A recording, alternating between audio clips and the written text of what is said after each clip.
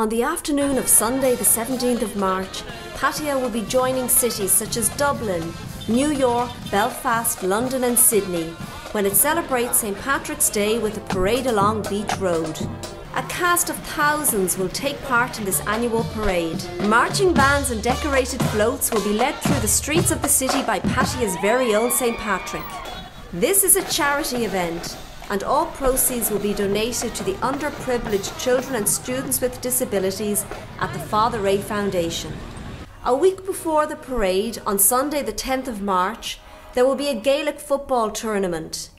The location will be the sports field of Arunatai School on Sawyer Arunatai opposite Big C Extra. You don't have to be Irish to join in the fun and celebrations on St Patrick's Day. So come and cheer the teams on the 10th or make your way down to Beach Road on the afternoon of Sunday the 17th of March and enjoy the crack.